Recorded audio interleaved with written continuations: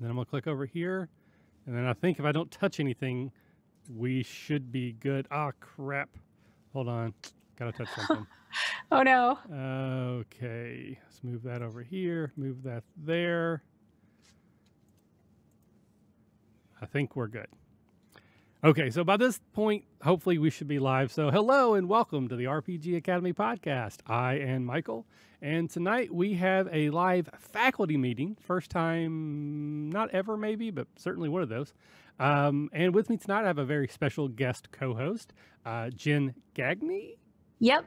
Uh, you probably know her better as Pixelscapes, uh, part of the Nerdicky network now, moving on up well, in the world. I've been I've been uh, uh, sharing some of my videos there, and I play in their D and D game. Well, that counts. So yeah. Well, well welcome it's very much nice. uh, to our show. Thank you for joining us. Uh, yes. So this has been a faculty meeting. The idea here is that Jen and I are going to talk a little bit about role-playing games, and that we hope that through this conversation that we might be able to share some of the experiences that we have gleaned from our many years of playing tabletop RPGs. Uh, but we understand that the advice we give and the opinions we share may not work at every table every time. But there is one piece of advice that we do feel is pretty universal. And Jen, what is that one piece of advice? If you're having fun, you're doing it right. That is correct. So no matter what uh, game you play, the system or edition, what rules you use, don't use, or misuse, as long as you're having fun, then you're doing it right. Uh, so today's episode is going to be faculty meeting 120. I don't have a cool nifty title. It'll probably be something like Jen shows roll 20. Uh, and this this is sort of a follow up to a recent episode I did with Mike Shea, who you might know as Sly Flourish, where we talked about uh, maps and minis versus theater of the mind and all the various ways that you can use maps and grids and all that kind of good stuff. And then we actually got quite a lot of positive feedback from that episode. But one of the things that came out is that roll 20 kind of does a lot of the things that we we said that maybe 3D terrain might be too expensive or too time consuming. But if you're using Roll20, it kind of does a lot of that work for you. I play games on the internet all the time, but all we use is Google Chat or a, a new program. It's basically voice and video. We don't do anything else. Uh, so, Jen, you are the expert here. You are here to show us what we can do with Roll20. So, I will essentially turn it over to you at this point. Uh, we do have several people who are already joined into the chat. So, please, if you have any questions, uh, Jen, can you see the chat? Uh, let's see. Which which chat am I looking at? It's going to be on both chat? Twitch and YouTube. So I can filter it if you want. I can read it. Yeah, then... if you could filter it, that would be good. Okay. Because I'm going to be on my my own screen here. Perfect. So you, okay. you start showing us things, and I'll try to jump in with questions if they're uh, going to going on. Yeah, and definitely ask me your own questions. Like if there's anything you want to know, or or you have a point to make, whatever will help. All right. So um, I use Roll20 for all my games, even the games that I. Oh, so let's back this up. Roll20 is a virtual tabletop. And what, what that means is on your screen, you have the tools that you need to run a role playing game. Um, and when you set up a particular game on Roll20, you decide what system you're going to use. So in this case, I'm using Dungeons and Dragons 5th edition. It comes with a standard character sheet. Um, and so for the demo, I have assigned you my husband's character sheet, which is Bishop Kepler. Is he a wizard of some sort? He is a, um, let's see, he's an Eldritch Knight. Close enough. Um, but we've reskinned all the magic as if it's gnome powered cybertech implants. Ah, very cool. So he is very steampunk. Uh, and this is him right here. Oh, nice. That's that's my actual husband. That's what he looks like.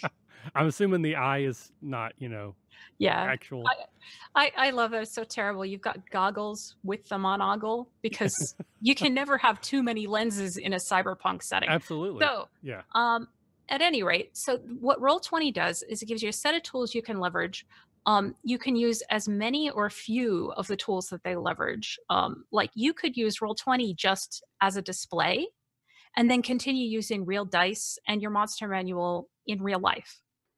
Or or you can play in person and sit on the couch and display stuff on the TV using Roll20 or you can get on the other end of the spectrum all the way into it have like your character sheet in here run all your monsters from Roll20 um, you can have dynamic lighting so that like you can't see around the corner until you get around the corner and you still can't see unless you have a light source and like ah, monster Yeah, exactly. You can get that deep into it. So um, I'm going to show you uh, the, your spectrum of options here. Uh, and also in terms of like how deep you get into theater of the mind versus, you know, loose maps, I think it was that uh, Mike Shea calls it, uh, into uh, gridded maps, like that whole spectrum. Okay, sounds great. Uh, and again, anyone who's listening, I know there's a bit of a delay, but if you have any questions, please throw them out. I'll relay them to Jen where I have time to do so. But Jen, take it away. Awesome. So we are in Roll20. Uh, now, you and I are not using their native video and voice here. Um, partly it's because, of course, we're doing the show. Uh, but the other reason is it hasn't really worked all that well for about a year. I've heard Uh, that. Yeah, Yeah. uh, on the upside, they have just hired some um, experts in the web RTC tech that they use for that. And supposedly they're going to be rolling out updates within the next 60 days. Um, in my experience, the video is reliable enough that we try to use it. Uh, but for voice, we end up using either TeamSpeak or Discord. And that has more options anyway, so I'm, I'm good with that. Uh, so you see in the interface here on the upper left, there's this toolbar. Um, you probably see different options because you're not a GM, but it, there's an arrow that says select or move. I have options to pick which layer I'm on. There's like the map layer, the token layer, and then a GM layer that only I can see. Ooh. Um, uh, special effects. You can do, uh, you know, uh, fireballs, for example. Oh, okay. You can, let's see. Can I make one go off? Yeah, I'm seeing it, but, but I, I hit a button and we're back to that first screen that just has the four characters. Okay. But I'm seeing a fireball eff- effect. Uh, someone was mentioning that my audio was a little lower to yours, so I had to jump over and try to fix that. Oh, so okay. I lowered you instead of raising me, but we should be closer. But again, if anyone listening, if it's still not close, I can adjust it a little bit more. But every time I do that, I, I mess Jen up for a second. So I'll just try to talk louder. Carry on. so um, you've got zoom options, but you can also control that using the uh, control on the upper right. You see there's a little mini slider bar. And as you slide that up and down, it changes your zoom. Ah, okay. I'm not And seeing you- that reflected in roll 20 though. Like I see what you're talking about, but I don't see any changes to the screen right now. So I don't know if maybe I messed Huh. something up when I jumped over. Well, you can slide around the window like just using the regular Windows controls if you're zoomed in enough. Okay. So I'm doing it now and I can see it changing. I thought when you were doing it that I would have seen it change. So Right. That, was my fault. No, each person controls their own view, Ah, see, that's that's okay. Now I'm with you. I'm, Right. tr- I'm picking up what you're throwing down. uh, which kind of makes sense because, you know, as the GM, I could be like off in the corner grabbing some enemies that are about to come attack you, and you don't want to see me go over there. uh, and or the party could be like split across a map. Uh, there's there's there's lots of uh, Or- difference. Or there's there. me that I can't see, so I want I might want to blow it up so I can actually see what's Right. happening. Yep. And then there's a ruler tool that lets you measure how big things are. It's good for range finding. You can probably see me using the ruler. Yeah, I see. There's like a little bar with a 15 foot or five foot. Right. So I See- assume that you don't pick the measurement; you just drag and it does the measurement as you go. Yeah. So if you if you want to see secretly there's a grid, but you can't see it right now. Uh, so that's like a the GM So layer it's- thingies. It's it's snapping to the grid. Uh, similarly, if we grabbed you and like moved you around, you'd snap to this this grid that is secretly here. Now, is isn't that an option? Like when you set up the game, you have the option of snap to grid or Right. not. So every time you set up a map, which they call pages, um, as a GM, you can tell it like what units is it doing using, uh, how big is it, um, is it using fog of war, is it using dynamic lighting, uh, uh, does it have a grid, things like that. Gotcha. Okay. Then I have some extra controls to like reveal areas. Um, there's the turn order for um, if we were going to run initiative through Roll20, which again, you don't have to do through Roll20, but you can. Uh, and then um, there's a dice roller. And uh, so if I hit D20, you see how my result pops up on the, if you have the chat open in Yeah, Roll20. it's just just above the chat window. I see you wrote a 17. Yes, exactly. Uh, now, you know, we all love dice. Exactly. So if the if the digital dice aren't fun enough for you, you can actually go under the gear icon on the upper right and you can enable 3D dice. yeah. So now, do I need to do that so that people can see what I'm doing? Mhm. Oh, okay. Yeah. So I'm hitting the little grid icon. Uh, then I got some enable 3D dice. All right, I hit that. Right. And then how do I get back to the without closing everything? Because I have Uh, an exit game. so that would be bad. The little the little icons on the upper right, hmm there's a chat icon, and that's the one you want to go back to from the grid. Oh, actually, you'd not only enable 3D dice, I would say automatically roll 3D dice. It's the another checkbox right next to it. Got it. Because otherwise you have to drag to roll the dice. All right. So I rolled, but I think I don't think it was visible because my screen was in front of it. So let me do that again. There we go. All right. I rolled a five. This sucks. Yep. There you go. I'm I'm Matt Parody for the moment. Anybody knows So- he he the Matt roll twenty dice hates Matt Parody. Aw. So you notice that our our the color of our die matches the little square next to our name. Yeah. So Okay. you, you know who's rolling what. ah, I got you. So the square at the That's all. bottom where it has our pictures, which mine is a I don't know what that is, but you're you have a nice picture. Right. You can turn those pictures off so it takes up less real estate if you want. Okay. Uh, it's another thing under the gear, under Okay. settings. Uh, see, it says chat avatars, player video avatar size. You can change it to names only. Uh, how far down is that? About halfway down. Uh, okay, avatar. I got regular, small names only. There we go. Right. There you go. Okay. Okay. Just gives a little, little extra room. Cool. So uh, let's see.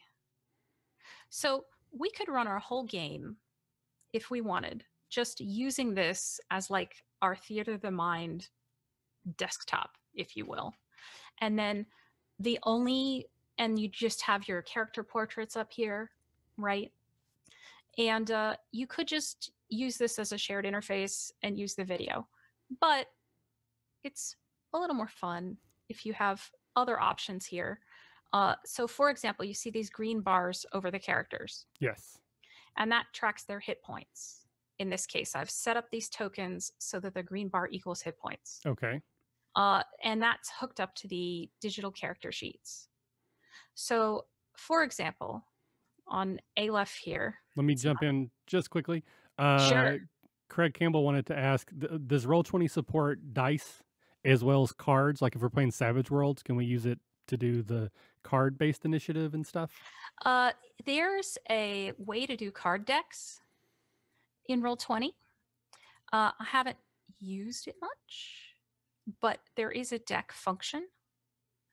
Um, like here's a card deck I just threw down in the corner. Mm-hmm. Uh, it's a generic card deck, but you can shuffle and deal. So I would imagine that I haven't played in the Savage Worlds version on Roll20, but Okay.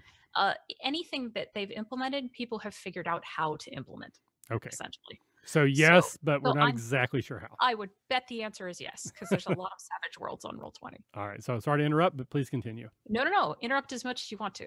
I, I love questions. You're going to regret that later. so, uh, um, so for example, uh, Wembley here, right? Yep. Uh, Indiana Jones. So this bar is his hit points. Indiana gnomes. Yeah, Uh, Miniana Jones. mini. yeah. There you. Okay. Now I'm with you. Yeah, he's an archaeologist uh, rogue. So he has 27 hit points. So if he got lost, let's say seven hit points, okay, I could just retype his hit points as 20. Or if you don't want to do the math, and this is the major upshot of Roll20, it does math for you. I could just type minus seven in his hit points and it knocks it down. And so you can see that he's injured, Uh, for yeah. example. So right now it just shows like a space, like it's basically clear. Is there a way to put like a red so that it becomes red as it goes across, like in a video game, Um, or no? You don't you don't really have a style option there. Okay. Um, you could code the tokens a little differently, so it's using a red bar instead, Gotcha. but it would still just be the blank spot. Gotcha. You can also apply like condition effects. Maybe he's uh, re- restrained. Maybe he's asleep. Maybe he's busy dying. Uh, you could put a red dot on him, and you can do that to anything, even monsters. So So- specifically, like in fourth edition, where you had a billion different conditions that you could apply to monsters or characters, you could do that. Right. The other thing you can do to mark characters is, uh, for example, you can add an aura to them. Like I just put an aura around Dare. hmm I see that. So if you're fighting a bunch of monsters and you want one of them to look different, you want to say this is the caster or this guy looks extra tough or whatever. It's like an easy way to mark them without needing a new graphic. So eh, roll 20 gives you a lot of options that way. And uh, let's see. So this is the most basic interface.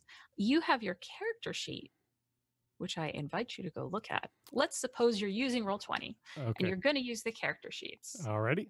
Okay. Where would I go to see that? So see on the upper right, you have the little chat icon. Yep. uh, And then there's this journal, Yep. like the folded newspaper. hmm If you go in there under characters, you're going to find Bishop. Yep. Okay.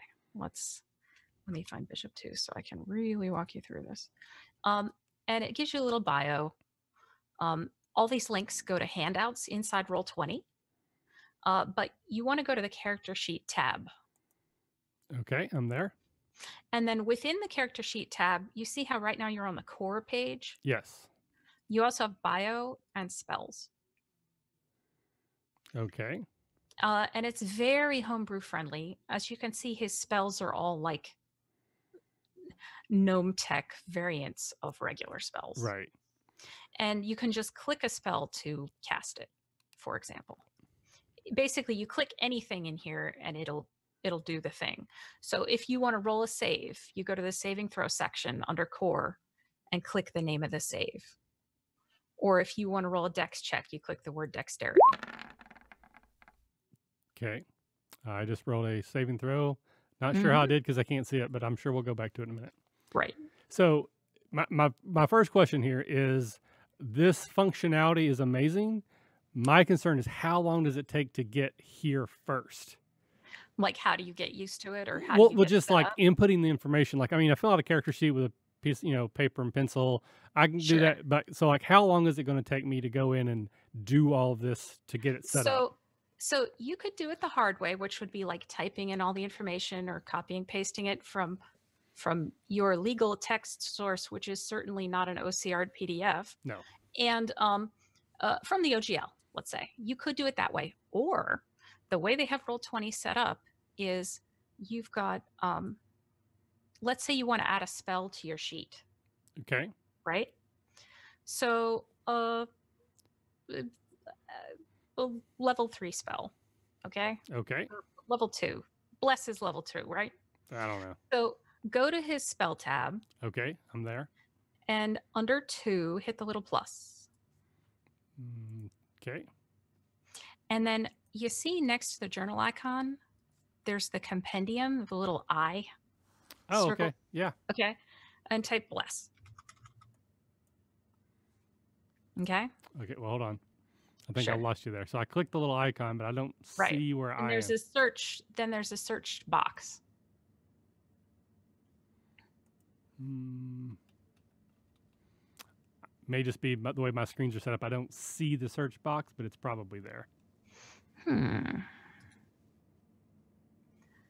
Odd. Let me make sure you have. Yeah, you have access. You Yeah. should have access to Uh, it. yeah, I think it's just behind stuff. Ah, yeah, there it is. Okay. Okay. Yeah, there we go. Bless. Okay. Okay. Searching. So you added a you you under two on your sheet. You hit the plus and it gave you like a little blank form for a spell. Yep. You can drag that bless in there, okay. and it will automatically add the spell. Ah, I see that. It'll say accepting drop from compendium. And then once it's in there, you can just click the name of the spell and cast it. At what level? Let's go seven or six. 'cause that's what- Ooh, yeah. very fancy. Very fancy. All right. Okay. Yep. And there's all kinds of other things you can do, like to make that little D4 actually get rolled automatically. Um, uh, like, for example, the burning hands. I'm going to click your burning hands here. I'm going to cast it at level one. And see how it automatically tells you your DC is 13. And the creature takes 12 fire damage in this case. So it just tells you quick. Okay. So outside of spells, but like just put it in. I have a 14 dexterity, and that equals a plus two, and that plus two is goes on my save and throw and on acrobatics. Right. How does all that work? So so go back to your core okay. And um, you put your stats in the little ovals, like just like you do on a paper sheet, Mm-hmm. and it automatically calculates your plus, which is the bigger number on top, Sure. and then it automatically uh, calculates everything else too. You just check off which ones are your skills. Okay. So change his dexterity to like twenty, and then you'll see that all the numbers related to dexterity change. Gotcha. Okay. Yeah. And similarly, when you level up, you just change your level at the top of this sheet, and the proficiency bonus changes, and all those numbers change. Okay. Now, is this all like free to anyone, or is this something you had to pay for to get access to this? This is this is totally free. Okay. Um, I I have a pro account, which wipes ads off all my games, um, including for my players. Oh, cool. So you guys just inherit that. Nice. Um, but uh, plenty people play for free. It's Okay. great. All right. Very, you very can put cool. your you like they have a marketplace where you can buy graphics you don't have to buy their graphics you can load your own stuff in here so in fact that's what i've done for a lot of this and uh yeah in that sense it's it's just really handy i mean it has the learning curve but there's a lot of Right. tutorials out there too So, free accounts are free. Um, If Mhm. you don't mind us asking, how much do you pay for your pro account? I don't remember i really don't um That's how they get you. there's there's there's a middle grade also Okay. I've got the pro account because it lets me run like there's a, a really active user community that makes scripts that modify Roll20. So you can do like even more powerful things with it, like automatic ammo tracking or uh, pathfinding. Or th- there, there's just so many different things like timers. Just just lots of options with this uh, plug-in scripting function. Okay. Uh, but that's really high level stuff, All right. which we won't be demonstrating today. Right, I'll I'll be googling prices while you're doing the next thing, and then I'll let people know. okay, sure. So you also have, um, I, I'm, you don't have to go look at it right now, but uh, on the core tab also, uh, I'm just going to go over the different sections. Okay. So in the first column, you have all your stats and your skills. There's a little toggle for whether or not you have inspiration at the top here. And then below that, there's your passive um, passive perception. Uh, you can enter whatever tools and languages you have. Then in the middle column, you get your armor class, um, which you can either enter manually or it gets automatically calculated from your stats and your inventory. Like it's smart enough to do that. Okay. So if you drag armor into your inventory, it will try to give you the appropriate AC. Um, your bonus to initiative, uh, your speed, your hit points. Um, so you can adjust your hit points here, or you can adjust them on your token. Um, I think it's more reliable to adjust it on the token because if you start doing it in both places, I think it might get out of sync. I'm not sure. Okay. Um, and then you can roll hit dice. You can roll death saves. Um, there's uh, all your weapon attacks in the next section. So if you want to shoot the crossbow, you just click crossbow. Um, and for all these dice rolls, by the way, if you hover in chat, like for example, the the burning hands we just did, it said they take 12 fire damage. So if you hover, you see, oh, that was 3d6, and you got a 2, a 5, and a 5. Uh, similarly, in the roll we did above that con save, Mm-hmm. It automatically rolled both a 6 and a 19. because I set my games to automatically always roll both because then if you have advantage or disadvantage, you it's the number's already there. Okay. Yeah, I But remember. By um, default, you would take the first number. Yeah, right. Um, I know that the, one of the few times that we did use Roll Twenty back in the day, uh, that's what we would do. Is we just put them together, and then you, I mean, you can do that Right. math. If you roll a, a seven and a nine, it's both plus five. You can look to see which one you take. It, it's not Yeah, that yeah. Yeah. exactly.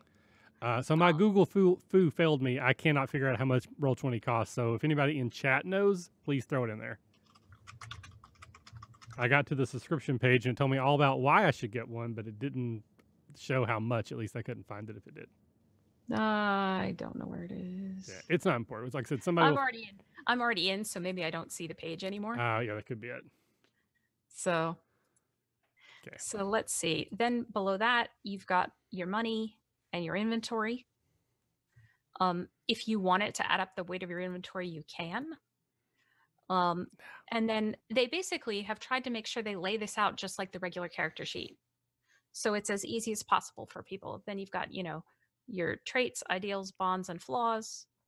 Um, you can add however many class resources here. In his case, he's got second win and an action surge. Uh, and then there's this character features and traits section.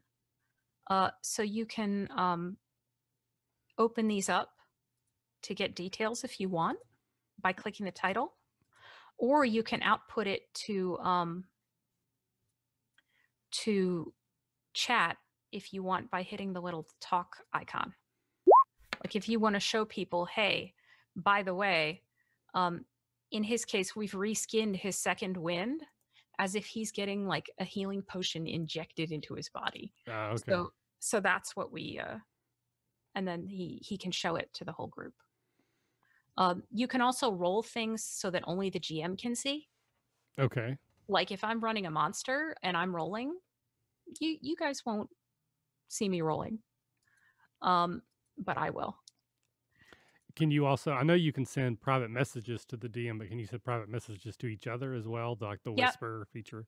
Yeah, it's slash W and then the person's name like RPG. It, it might Yeah. be the RP. No, I think it is just RPG. Yeah. It's it's there's a uh, I'm not sure how it works with the space in the person's name, but yeah, you can whisper messages to each other through here. Uh, so someone jumped in that it's four ninety nine for the mid tier and nine ninety nine for pro. But if you do a year subscription, it looks like you get a little bit of a discount. Yep. And your players can gift you with a subscription. Oh, nice. Yeah, huh? Yeah. Give your DM a little love. so that's the player sheet. Um, why don't I show you a why don't I show you a monster sheet? Okay. Let me give you control of a monster. Oh no. You could pretend you're a uh, you could pretend you're a DM. Rawr, I'm a monster. so you don't have to constantly open and close this sheet and go look it up again. If you double click his name at the very top of the sheet, it sort of minimizes it to a little box.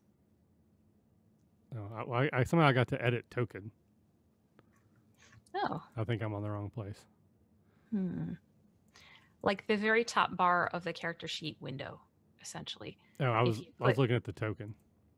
Oh, okay. If you double click where it says Bishop Kepler on the very top left, Yeah. then it'll make it like a little grayed out Yep. I see it. Yeah. Okay. So let's pop open this orc. And because Roll20 is very handy, I can just drag an orc out onto the screen. Just from the side here. So now we have an orc. So if I have a spontaneous encounter, I could say, oh, guess what? Uh, three orcs show up. Right? And they all look the same. That's kind of boring. So I also have an option because I used multi-sided tokens to randomize them. Yeah. Okay. So now my orcs all look different. And that's a, a core function to Roll20. If you want to add multiple images for a token, you can. Um, I've also done that for player tokens, like they can have like a sort of a powered up form, I for got you. example. Now, with those tokens, are these ones that you've purchased from the marketplace, or did you input those yourself off of various I, art places? I put I put some in myself, um, and others I've bought off the marketplace. Um, uh, because they clash so wonderfully, I have not added my own tokens to Roll20, but I could do that. Gotcha, gotcha. Yep. Alrighty. So the orcs work the same way. Um, you can either open their character sheet from the journal page, or for any character, including you, that you control, you can just select the token, and then you see it gets this little box around it. And then if you shift double click, it'll automatically open the sheet. Okay, I think I lost you there. Um, Okay. Hold on. No problem. Those are questions. That's what got me distracted. Sure. Uh, so, Dirty Habanero wanted to know if it does anything with languages. So, like for example, could you pick Orcish and type in "Hi, Right. my name is Frank," and only if Yeah. the characters that speak Orcish it would translate, then they would see what they said, and everyone else would see gibberish. Um, it doesn't do that by default, but I know there are people using the API script system who have worked on stuff like that. Okay.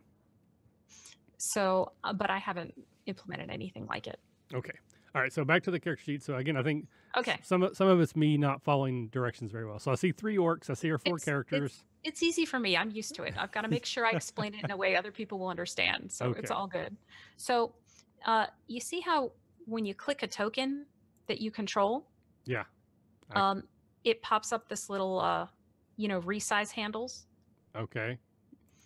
Uh, so you can, uh, like, if they get knocked out, you can just change their their angle, for example.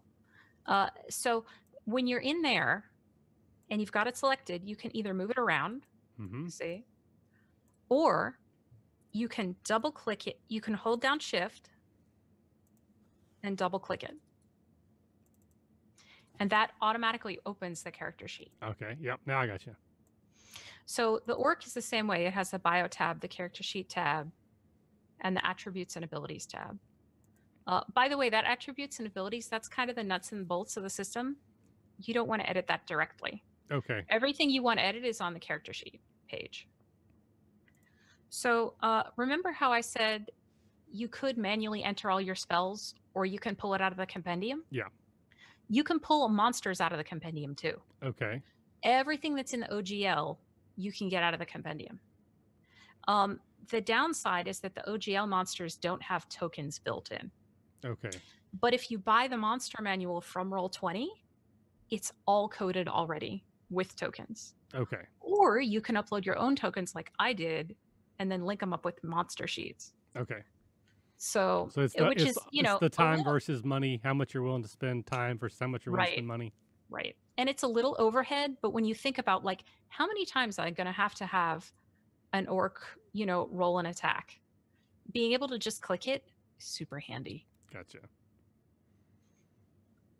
So, um, and that tells you, you know, it's your monster man- manual entry and you can do everything you need to do about the orc.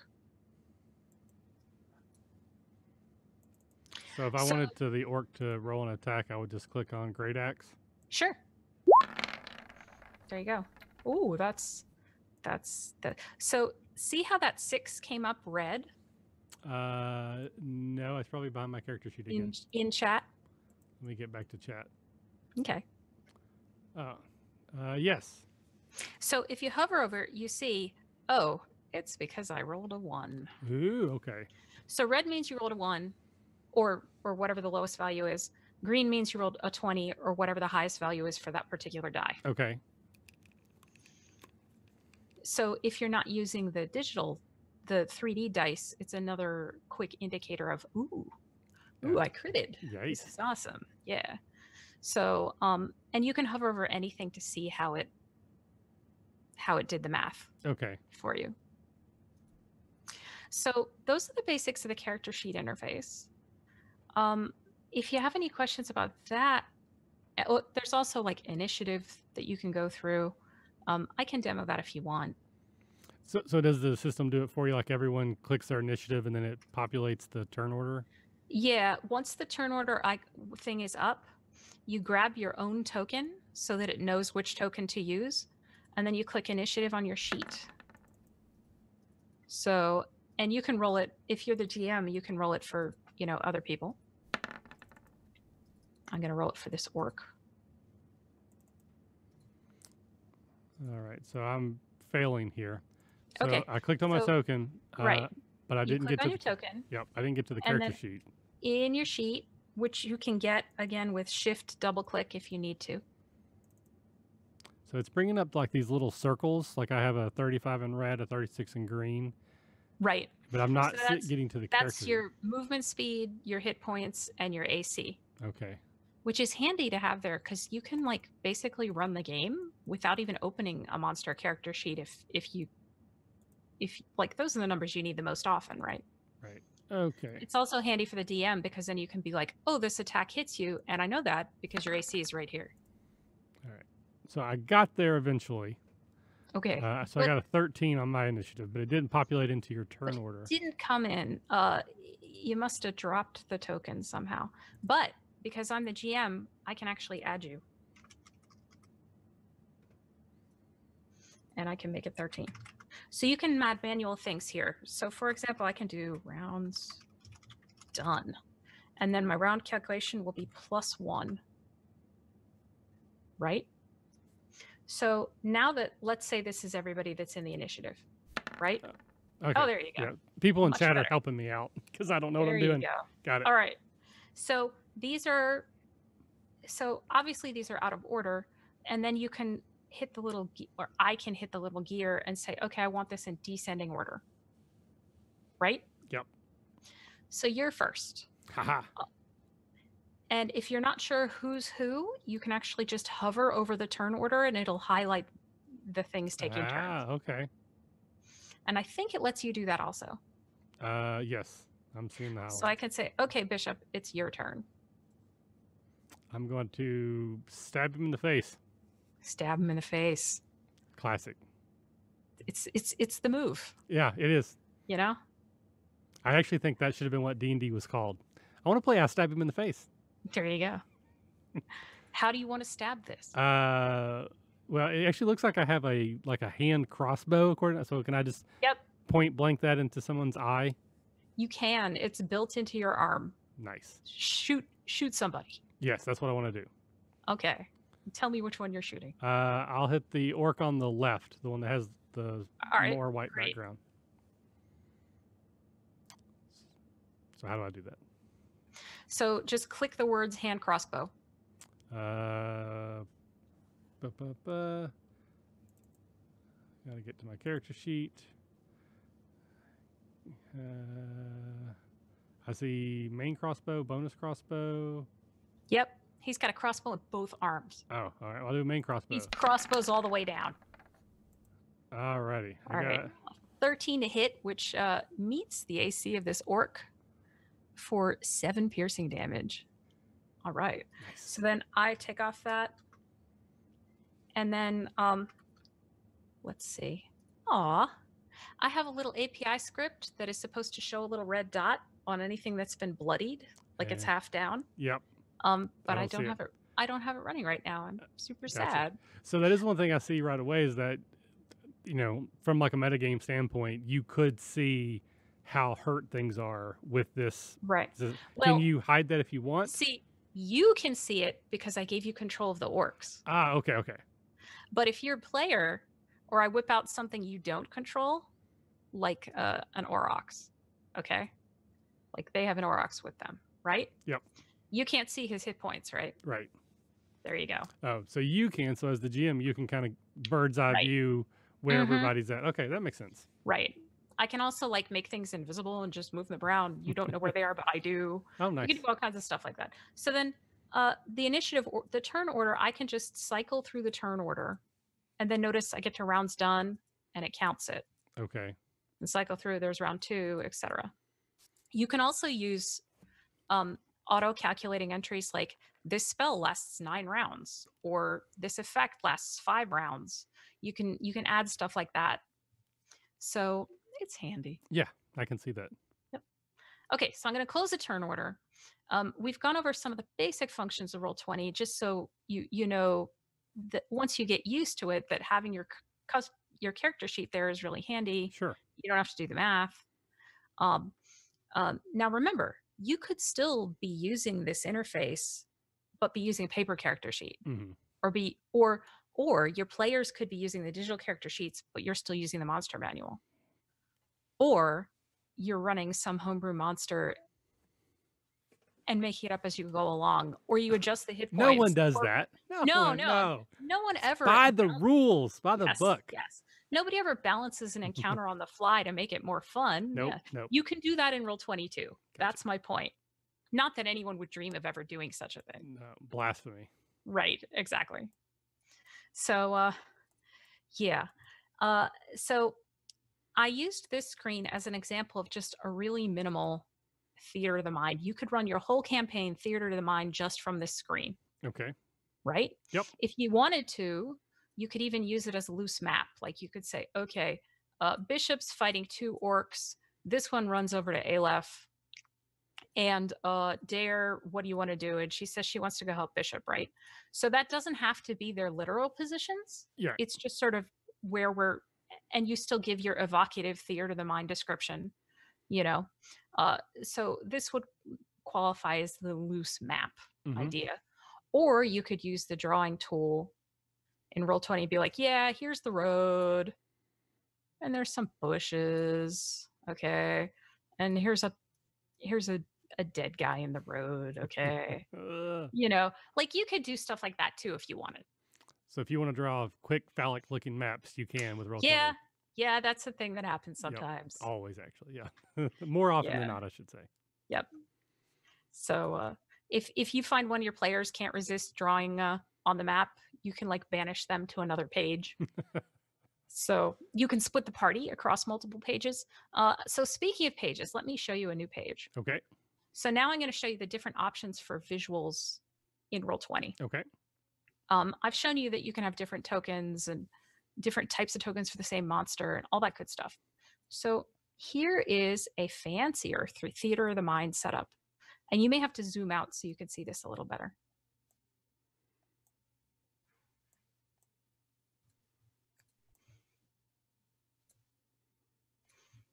So this is something I bought off the Roll20 marketplace because it was pretty.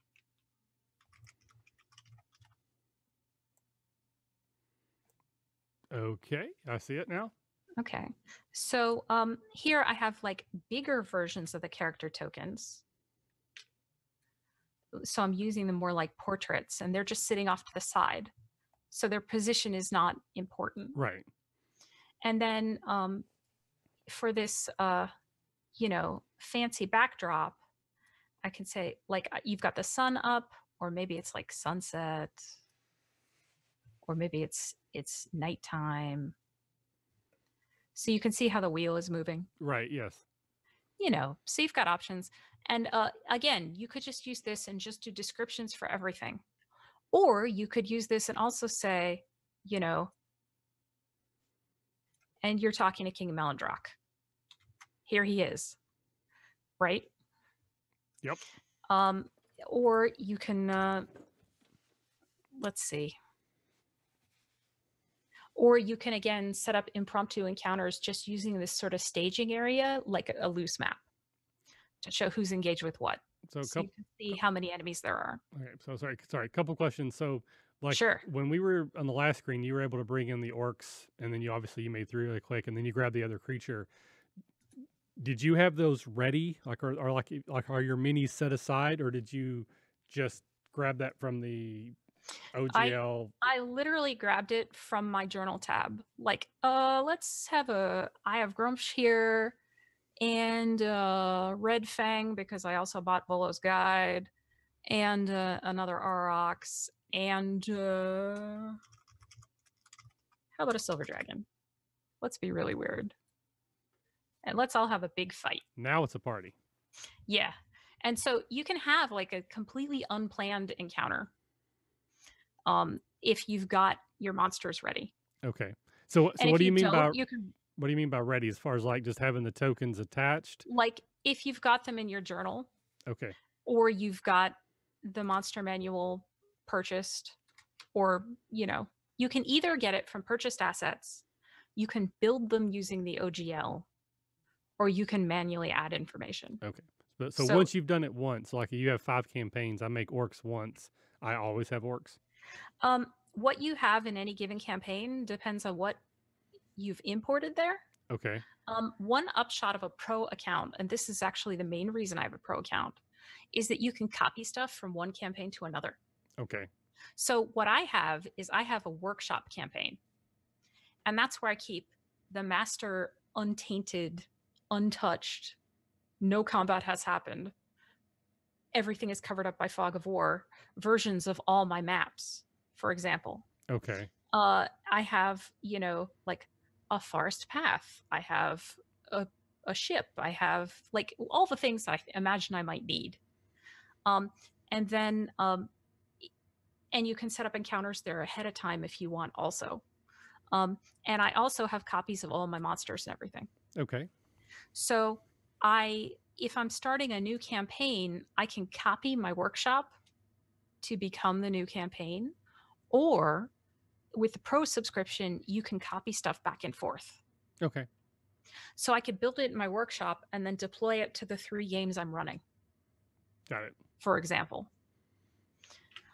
Or if they go to revisit a place that I didn't think they'd go back to, Because that Uh, never happens. yeah, that never happens. Uh, I can either pull it out of the archive in their campaign or I can pull it out of my workshop if I need a fresh copy. Gotcha. Um, but let's say they left the village in flames, right? Because that never Uh, happens. Because that never happens. You you you can pull your local copy of the map, which would probably still have fire all over it. So Nice. Now that's one of the things that I did just briefly used back again back in the day when we started using Roll Twenty was just for like sort of ambiance. Like I would have a picture of a swamp that Mhm. I would just throw up the picture rather than trying to describe the Ah. swamp. I'd be like, "Here's a swamp." So here's where we get to, and I'm going to take you to the next page, which is the same theater of the mind, but with a picture for ambiance. ah, there we go. So you see, this is like a creepy forest with uh, ancient ruined and etched stones. Um, and another handy trick is if you hit, sh- if you're the GM and you select something and you hit Shift Z, Okay. it'll pop it up to show the players larger, Okay. and then they can just click away. So, question for you. Yep. Is it possible to do something here like with layers where there's 2 Mhm. versions of this picture, but one of them has like a ghostly image of a lady? And I'll- Yes. so you have it, then like, oh, wow, there's a ghost. Yeah, let's let's do that. Where's my uh Where is she? Saharil. I have Lady Saharil from Saharil Guard. And here she is. So I didn't know we were doing a ghost encounter until just now, but there she is. Right? So having resources handy is very convenient. yes. And here she is, the ghostly image of Lady Saharil. So, Yep, exactly. stab her in the face. I could put her up there. so um, you can also stack things here. So if you have like a series of scenes, you know you're probably going to want to show them in a night. Like there's the ghostly forest, and here's an orc encampment. And here's the beautiful port city that you just visited. And just like any theater of the mind game, you can still give your description and um, but then this can sort of help give you a little more to set the scene more visual So, uh, back to my other question is where do all these images come from? Did you go search the web and I- find them? i took them off the web Okay. and i'd like to think that they're fair use because i'm educating people right now well, I think in your home game they should be. I don't. I don't exactly know how it works with us, i but wouldn't i wouldn't i wouldn't uh i wouldn't do this for a uh, public game unless there are things you there's lots of things you can buy off roll 20 Mhm. Um, you can also look for images from the Creative Commons, for example. Um, uh, you can look for public domain images. Um, remember, it doesn't have to just be fantasy art. You can even use like photos of woodland scenes or of ruins, or and a lot of those have been released under um, Creative Commons or public domain. Uh, so there are ways to do this legally. Sure. And again, I don't think it's illegal for you to use it in your Right. private home game. Yeah, that's personal use, and again, would fall under fair use. Yep. And what I'm doing right now, I'm educating you, so technically. So let's say you're investigating somebody's desk, right? Got it. Yep. you could use something like this. And it may be, and this is what I love about using photos, uh, that your players pick up on something that they find really interesting, but you weren't thinking about, and you can just roll with it. Um, I had a, a map that had this like giant green statue in the background, and uh, one of the players took a real interest in this. And so I spun out this whole line of like 100% canon because I'm the DM. Yep. About how this was like a giant, st- ancient looking statue made of adventurine, which is a green crystal that mages use uh, to channel magical energy. And so the character decided that she wanted to steal this giant multi-story statue As you do. and it turned into like a side plot that triggered a little bit of a disaster but the point is it's like it wouldn't have happened if we hadn't had the photo there right. so or or they'll use the terrain it, it, it can show them like give them a better sense of height but but we'll get to that on one of the next screens Okay. so yeah i just i have a bunch of different scenes in here just to give you the idea um, the cool thing about things like this is that you can also um, let's see let me get these to let's see i'm going to move these tokens to the token layer. So uh, for example uh, in this uh, you know meeting room scene you can pull in your pcs and your npcs and just it's just like another way of showing them what's going on hmm right? And then maybe combat breaks out and you use this like a map. Like you've got you've got a lot of options so you can sort of there's sort of a continuum between showing a scene just to be evocative and sh- turning a scene into something else so like this is a scene of the theater but it could easily become a fight scene Oh yeah. with height with height as a factor Mhm. right and there's cover like it, it wouldn't be hard to run uh so you get the idea Yes. So one of the things i like to do and that's what i'm going to show you on the next scene uh, the next page is um, i like using these scenes as maps. Um, so like i said for example here's a shop that they're visiting right? And um, i've i could just show the shop or I could get all the people and they could be, you know, wandering through the shop. They could be talking to the shopkeep here, right? There's a guard. He has stats just in case we need it. Yeah. So, so uh, that's why I especially like scenes that kind of give you an isometric view. mm-hmm. Um, you can also do stacked up, like I showed you, you could do stacked up maps. Um, and so these are the scenes that I use, like when they visit Mother Tathlorns in Waterdeep, for example. So here's the outside. Here's the fancy entryway. There's a reception desk. You know, uh, you could just use stuff like that. I don't have a map of the place, but they get the idea. Gotcha. Yeah, I, I see.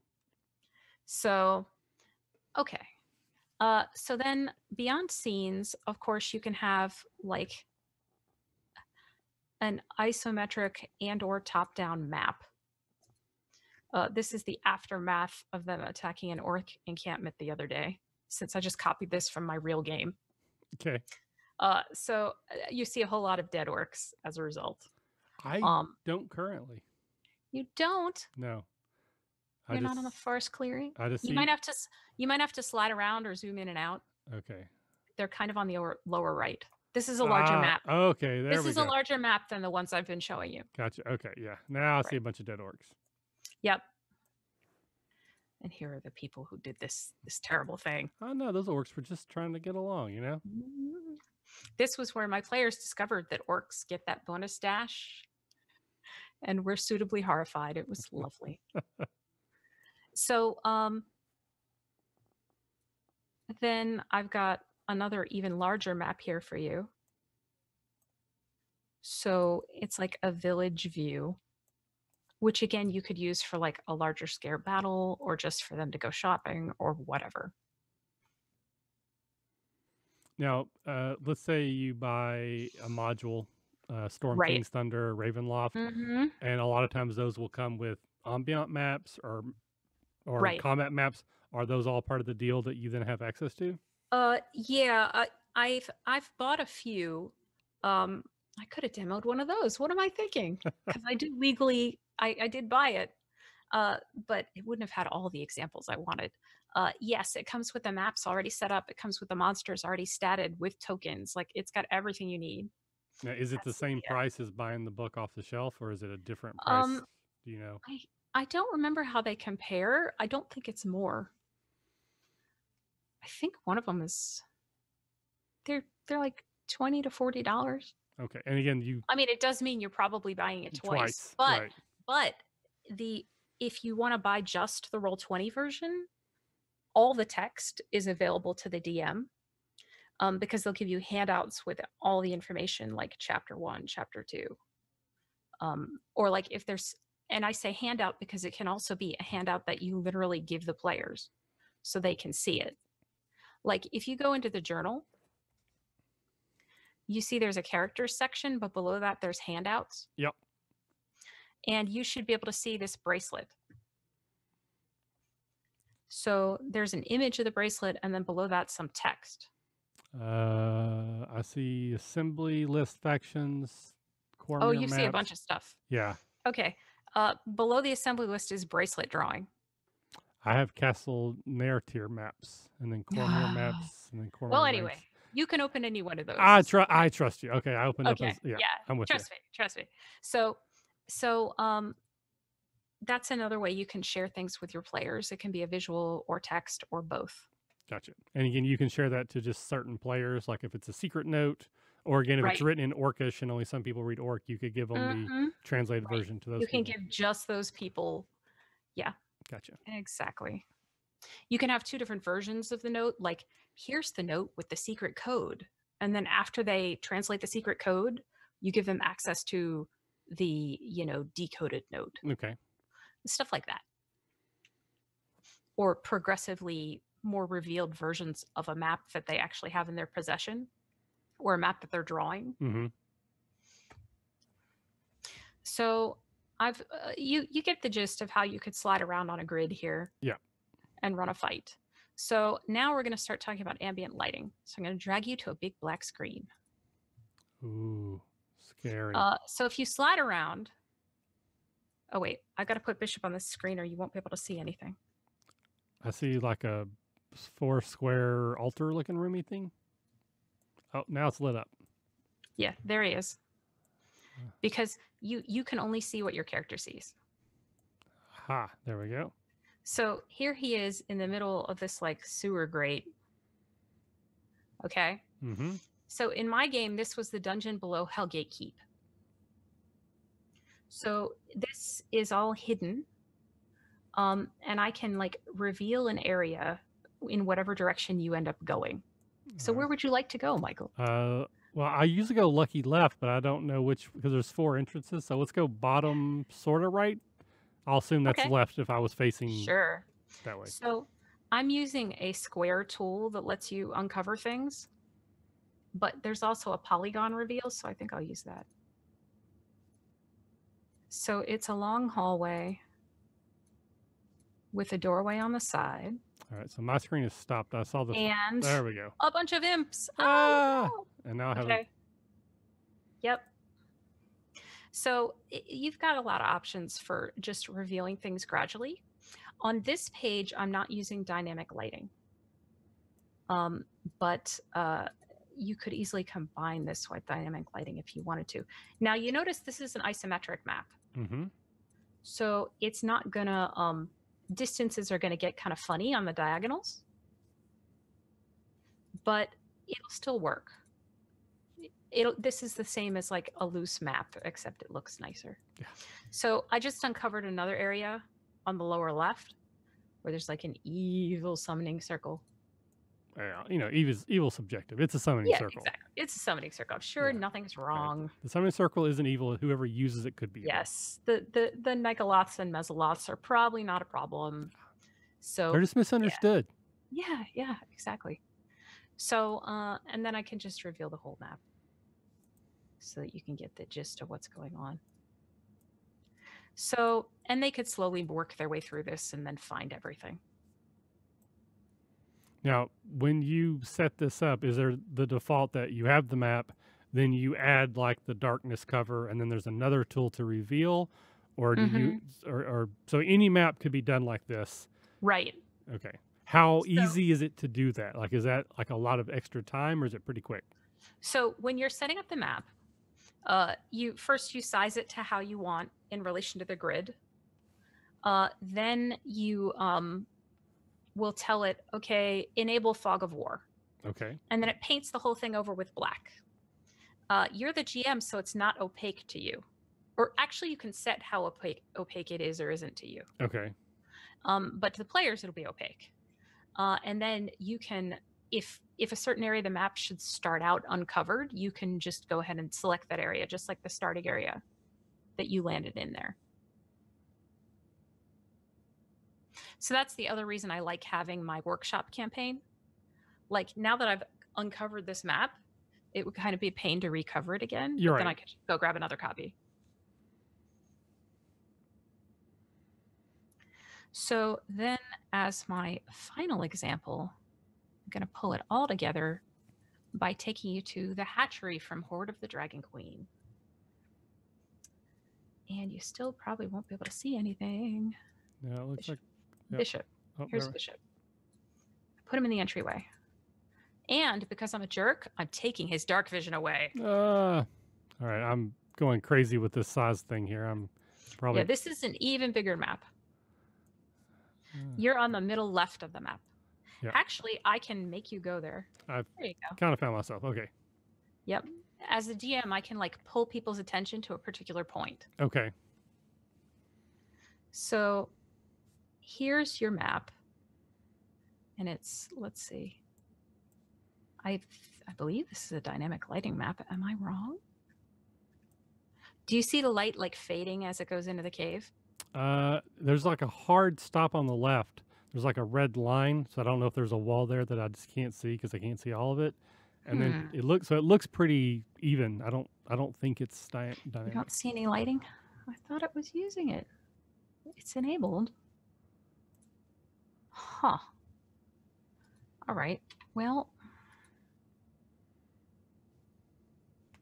let me let me reveal another area of the cave Sure. and put you in there, and then we'll see if uh, If that works, yeah, no problem. if it works because it should be running. And it looks like we've had a couple more people jump jump in. So once again, uh, if you have any questions, uh, please let me know. I'll I'll try to parse them out to Jen when we have a moment. Uh, but yeah, all right. So So, are you getting any um like okay, are yeah. wall, uh, are the walls opaque to you, for example? Uh, when you moved my like orientation, the the light moved. Yeah. So now like Yeah. yeah. So so now I have like- dynamic lighting. Okay. So, like the Ah. cultists hiding behind the pillar, you can only see it from certain angles, for example. Uh,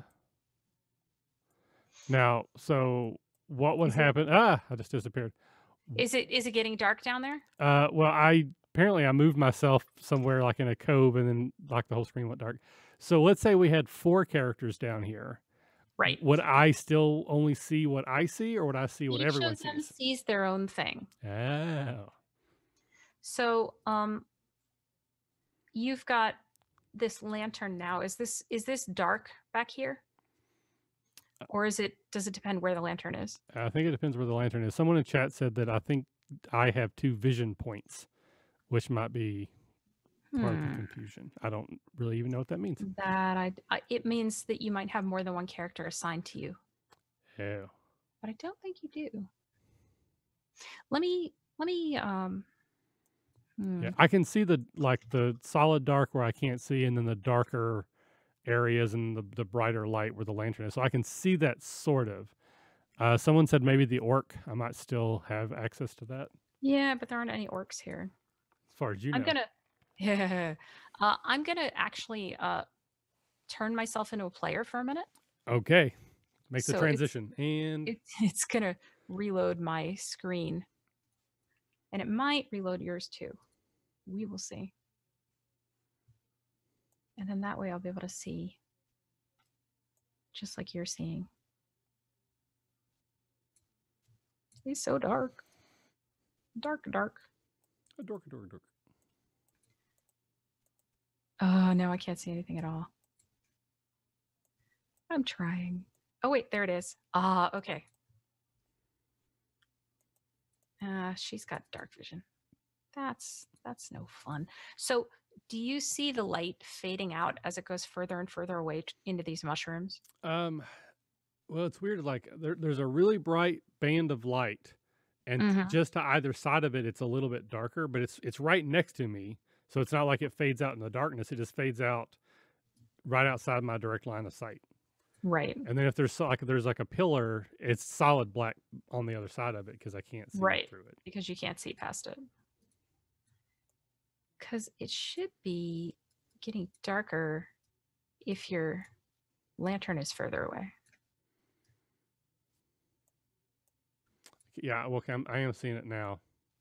Because I moved the lantern back out to the entrance. Yeah, So it's getting darker and darker where you are. right. So there's like actually getting solid black and then dark, solid black, kind of dark. So yeah, so it's like uh, Okay. the darkness is creeping So- up on me. So yeah, it, it basically the thing about dynamic lighting is that not only can you have that kind of effect for like ambiance, and so what people see is what they actually see.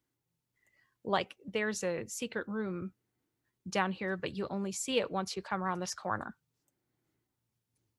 There's a tunnel down here. So it looks like there's two lanterns. So I don't know if maybe that was what the problem was. Yeah, maybe it's just too bright back here. Okay. Uh, but that's that's an example of what it can do. If you do have dark vision, you can see a lot further. Um, I've got it. Anybody with dark vision can see, you know, whatever it is, sixty feet, as if it's bright light, hmm and then it's dim light past that. Uh, just so they can see where the edge of their vision is. Okay. Uh, so that's the basic idea. And you can explore your, and let me go back to being a GM so I can uncover this. And then you can explore as much of this as you want to. And I'll set it so that you can control the lantern and drag it along with you. Yay. The other thing I could do is I could actually make you a light source as if you're carrying a lantern. That would be cool. So let me go ahead and do that. I'm going to open your token. I'm going to say, let's say it's a fairly dim lantern. 1530, and I'm going to say all players see light. And then I'm going to take the other lantern away. So there's your lantern. How's that look? Okay. Yeah, I, I just went down.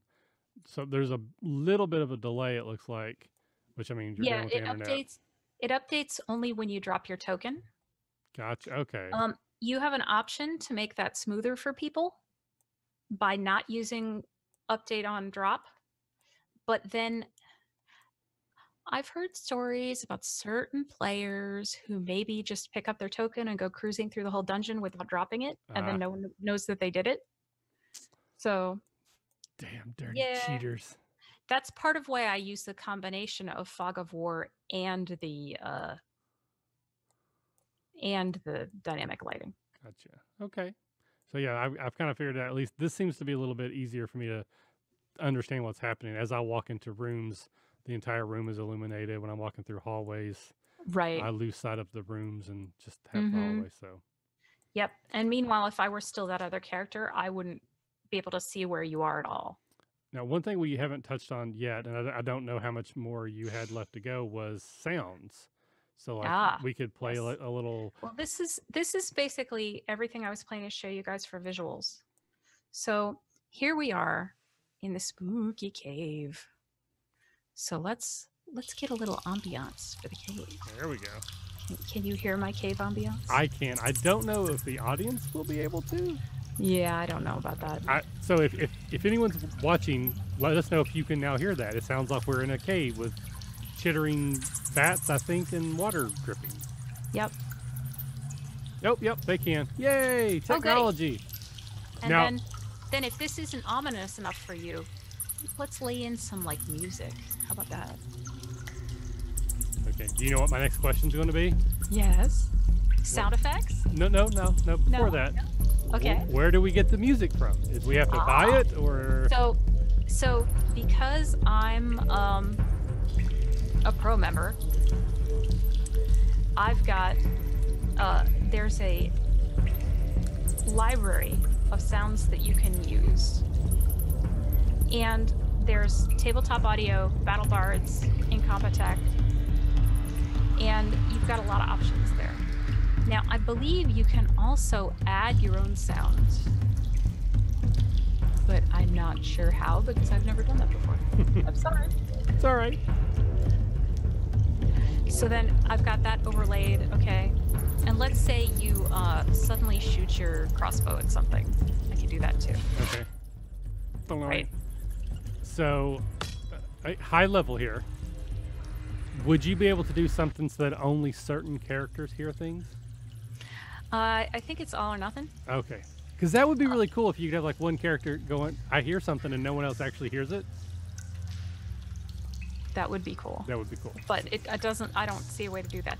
You can individually control the volume on your tracks. Like if this cave is just too loud, I can turn it way down. Okay. Oh, there's a couple drakes. Hey guys, just passing through. Nothing to worry about here. Yeah. Bye. Yeah. Welcome to Hoard of the Dragon Queen. Nice. So a couple of people were mentioning Battle Bards. Uh, yes, Battle Bards is awesome. They've been a sponsor of ours several times in the past, and uh, Yes. it's it's awesome to see that they are integrated with this. I do love them so. Oh yeah, spoiler! Someone said so. If, uh, don't don't, Oh, don't this is a spoiler. Let's go to the other page. yeah, don't look if you don't know. No- Sorry. No, looking. No, looking. I'm sorry.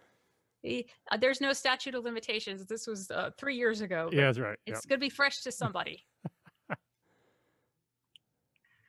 so, yeah. I mean, Okay. that those. So basically, hopefully, you can see how you can get like this whole spectrum of how you can have theater of the mind, theater of the mind with like a visual to uh, like a scene, and then depending on the angle of the scene or just how you use it, you could use it as just like a stylish backdrop for just showing who's engaged with who. Or you could just line them up so you know how many there are, Right. on up to actually using the backdrop like an isometric map. Or you could actually get an isometric map or or on up to just like a standard top-down grid. Um, the other thing which I didn't even get into here because I don't use it often is um, you can get pieces to use on a map. Like you could have a grassy field and then put down trees on it. Or you can have a like a cave tile set that lets you build your own cave map. And then you could put like a chest graphic down or a bedroll Okay. or so you can really build your maps up from scratch if you want. Um, I find that that gets a little a little unwieldy in the interface, uh, but you've always got options. Like like for example, in that orc camp map that I did, Mm-hmm. like I had that forest layer, but then I added their tents and the campfire, Okay. and I just I just added those in roll twenty. I just just said uh, tent, okay. Where in my tent? right? And then I can add that tent and then, uh, you know, resize it to be however I want. So, what this always seems to come back to me on is how much time does it take? It, it seems like Right. I know there's a learning curve. So if Oh, I if. I tried to do it today, it would be a disaster. But you probably could go through it much quicker. But Right. so you do this a lot. So clearly you find Mhm. value in it. Like you you think this adds to the game. Yeah. Do you do you think you prep any more than you would otherwise, or is it just different because you're doing it through the system versus like I use note I, cards? And I such? honestly think it's just different. Um, it's it's, and of course you can prep as much or as little as you need to. Um, I like the spontaneity. See, what I really like in terms of saving time, the biggest time savings is not on the prep front. it's during the game because you don't have players going, and what do I add to that? Let me do my math now. Uh, plus uh seven. Oh, and I also have to add this other thing. Did I remember? None of that is happening because Right. they click it and there's the answer, Right. right? Because that does happen a lot. It's like, oh wait, I forgot to add my plus 2 Mhm. so I would have hit Mhm. last turn. Well, too bad. I mean, people still forget stuff, but but in in in and you can even like back scroll to be like, wait, what level did you cast that at? Or hmm that that's handy too. Uh, but as a DM, it's a lifesaver because um, even if you were using average damage, as Mike Shea recommends, um, let's say you were doing that to save time, you'd still be rolling their attacks, hmm right? Um, and running the monsters off of these electronic sheets is so fast. It makes a huge difference in the efficiency of the game, as far as I'm concerned. Okay. Uh, and you can, of course, still give your evocative descriptions of how the attacks go and, you know, all that. And it, I think it actually frees up brain space for my players to, um, you know, do more to describe what they're doing in a cool way because they're not busy like calculating. And I don't have to like flip through the monster manual to check that AC again. hmm So, in that sense, I find it super handy. Or they say they're casting a spell, or how does this work? And then I can just go look in the compendium and be looking at the same spell. Instead of flipping to the page in the player's handbook, I can say, bless. Okay. Where is bless? Here it is. And I can just look at it. Uh, attack roll or a saving throw. Okay, there's the answer. So it's it's really handy to me in that regard Okay. as well. So, now when you use this for your home games, are you guys in the same room and there's like a TV on the wall that everyone's looking Um, at? I have run it that way before. Um, it's if you're showing them your GM view, they're going to see you like rolling monsters and stuff. Yeah. Uh, but there's other ways to run that too. Um, usually, when I run at home, I'm on the, my computer. My husband's over there on his computer. My brother is over on his computer, and then my other two players are in other parts of the country. Gotcha. Okay. So, but even if I were running a game just for the guys in my house, I would run it on here Okay. just because it's easier for me. I mean, again, I can see once you've mastered it and once you have Right. everything loaded, Right. I, I just again, and th- maybe it's just me that I'm like you know a technophobe, but that I would be like, oh, it's going to take so long to get there. But you know, it's like climbing a mountain. You climb to the top, and then you get the view. Right. But it takes effort to get there.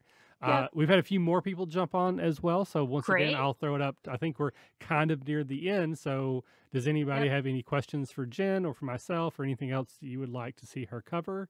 Uh, there's a little bit of delay, so I'll let that catch up. So while we're waiting, Jen, where can people find more of your work on the internet? So I've been drawing uh, grinning, toothy, cartoony, extremely bright colored monsters. Yeah, can you throw up an example? on- yes, I can. I will go get one now. Let's see. Uh, Dirty Habanero says that he has one computer running two instances, uh, one for GM and one for player, so they can, I guess they, everyone can see the player, but he can still. Perfect. Yeah. Yep. Let's see. How about my basilisk? I'll throw him in here. Here's my buddy.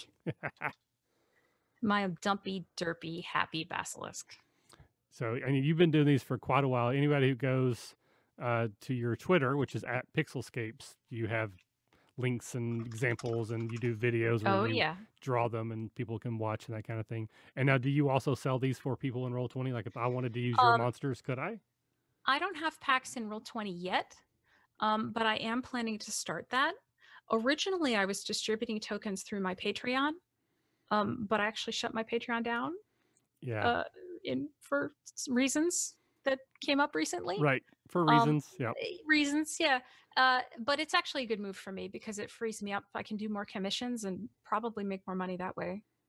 All right. So once again, where where can people find your work then? So um, my website is pixelscapes.com. And uh, I'm most active in the RPG community on Twitter at Pixelscapes. Um, I also have a Facebook page. I put my painting videos on YouTube. You can find all that through my website. Okay. So uh, definitely do stop by and say hello. All right, fantastic. Thank you so much for doing this. I really, really appreciate it. We've Yes. had quite a few people jump on and been chatting back and forth with each other. So I this is a very visual episode. I probably will go back and add a little tag at the beginning because this will get released as an audio only, but I don't know how much value that will have. yeah, uh, I don't but- know about that. Yeah, but this will be on our Twitch channel for like four days, but it'll be on YouTube forever. So I'll go make the YouTube version public here in a little bit. Um, so hopefully, anyone else who's out there who's interested might stumble upon our video and it will help them get things going. Um, so, as for myself, again, Michael at the RPG Academy, you can find me pretty much anywhere you put in the RPG Academy and something comes up, it's probably me.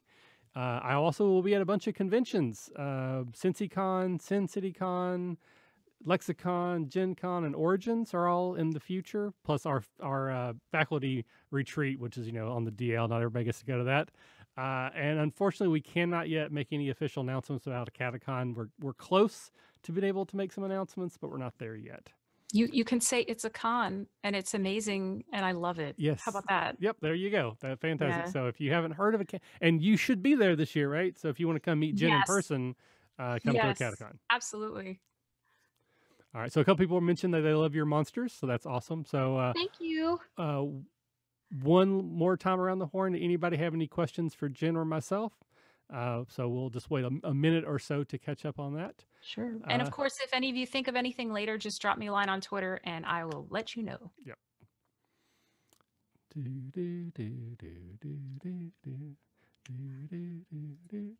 I will say oh, sure. some other little tricks that I use for Roll20 yeah. is you know how I can pop up images here? Mm-hmm. So um, I try I like to upload my my tokens extra large so that when I pop them up to view that you can um you know see them at a nice size. Gotcha. Uh, and that's the same reason I make my my monsters that size, just because I like being able to show them to people. Like when it's that monster's turn, you get a good view of it. Ah. Uh, so Dirty Habanero asked, and I actually did miss it earlier. Uh, ha- have you ever used Fantasy Grounds? And if so, how would you compare the two?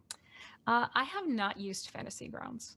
Um, I I it's tough for me to do a comparison. I mean, I've read some comparison articles.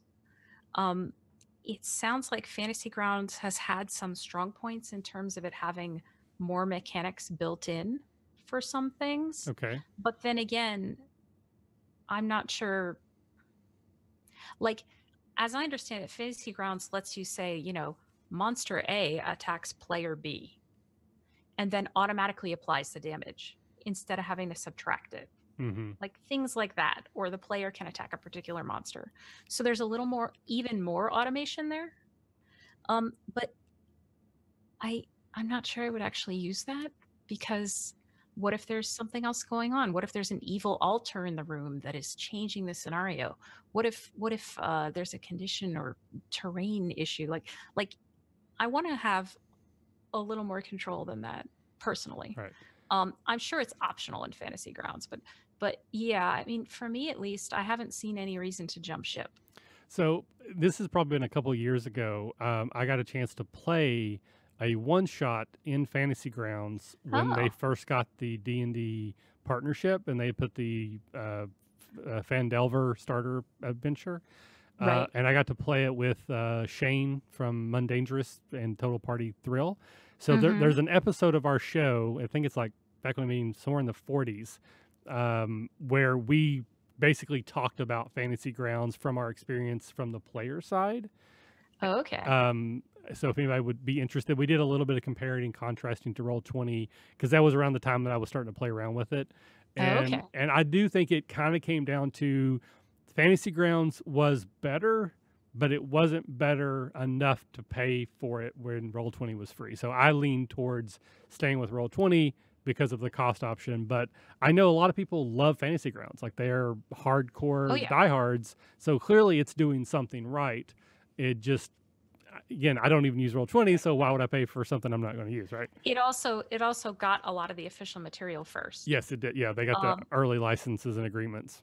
Yep. I mean, personally, i if I were going to pay more, I would pay it to buy things like the Monster Manual, Volo's Guide, the Player's Handbook, um, as opposed to it basically depends where you want to put your money and, and how they compare for you. Right. And again, as our kind of our motto is, if you're having fun, you're doing it right. So if you like Roll Twenty, great. If you like Fantasy Right. Grounds, great. If you like just using Google Hangouts, Yep. great. As long as you're playing, I've- that's all that matters. I've heard of people running games using Photoshop as their virtual tabletop, Oh, where they just move things around and then they're using Google Hangouts for their video and voice.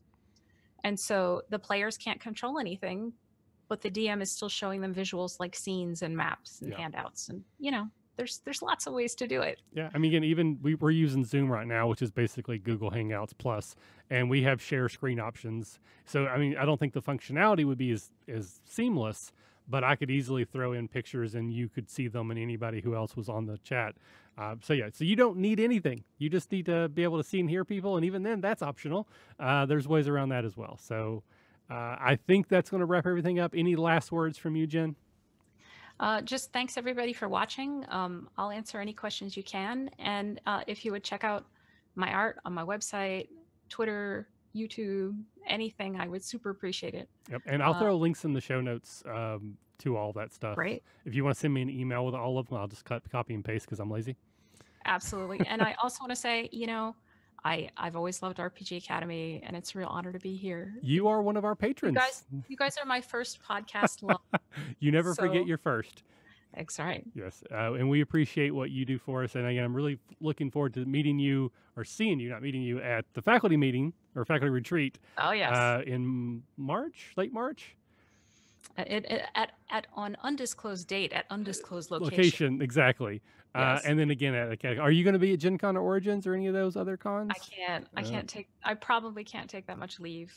But uh, you know, if I can only go to one con, it's yours. Yes. Me too. If I could only go to one, it would be mine. Yeah. Yeah. Exactly. awesome. All right. Well, enough shilling. Thank you again. Thanks for everybody who's watching. We're going to sign off. Uh, we got to do our awkward wave out while I try to find that right button. Bye. Uh,